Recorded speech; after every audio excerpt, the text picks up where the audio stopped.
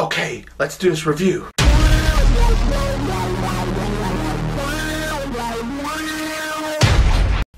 Oh shit, the camera's already on. Never mind, let's get to my review.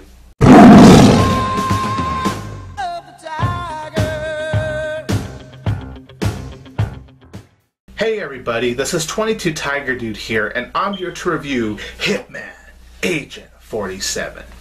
So, Hitman Agent 47 is actually from a first time director. I believe the name goes Aleksander Bach. Hopefully, I got that right.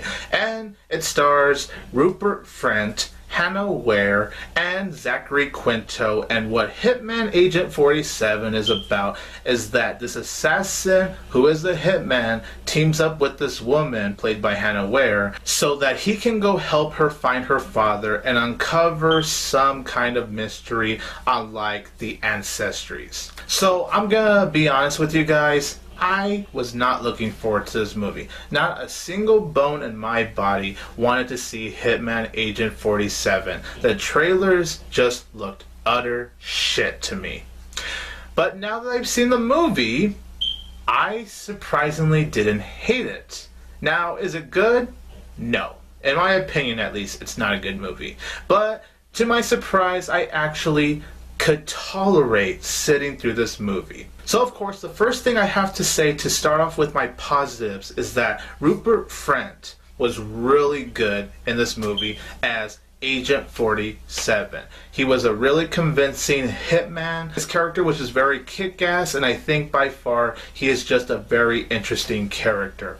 Hannah Ware as this woman that teams up with Agent 47. I actually thought she was good too. I wasn't sure about her at first when the movie began, but then as it was progressing, I was all like, okay, she's not doing too bad of a job. She's actually doing pretty good here. Zachary Quinto was also really good here. He did a very nice job in Hitman Agent 47. Most of the action sequences were a lot of fun to watch. Some of the camera work was actually pretty impressive during the action sequences, in my opinion. The cinematography actually looks great too. I have to credit the movie for how slick and smooth the cinematography looks. I think for a first time director, Aleksander Bach actually did do a very solid job directing this movie. You know, as I said, there were interesting camera work that went on during the action sequences. And the last thing I have to say about the movie that's good is that the soundtracks that they played throughout the movie, I really enjoyed. The problems I did have with Agent 47, however, is that the storyline definitely does get convoluted.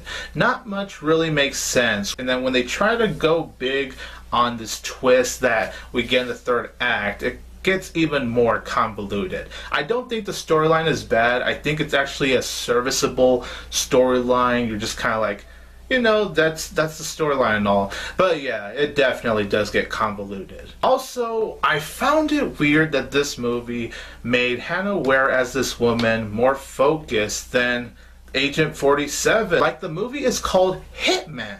Agent 47. So you would expect him to be the main character when really he feels like he's more of the supporting character and he really doesn't even get more screen time until once he actually teams up with Hannah Ware. But the problem I did have is that even though the actress did a really good job with the character, I didn't really find the character all that interesting to be honest, especially not compared to Agent 47. Some of the action sequences, they were executed very poorly.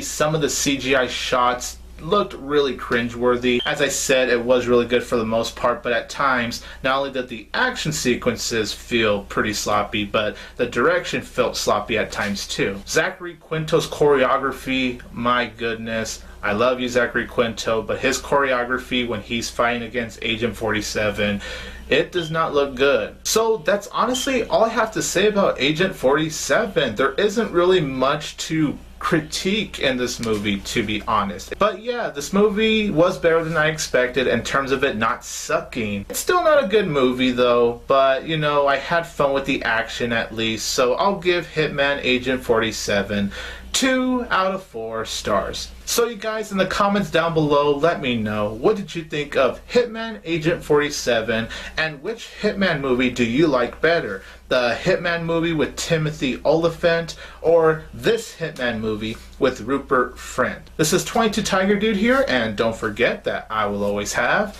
Tiger Power!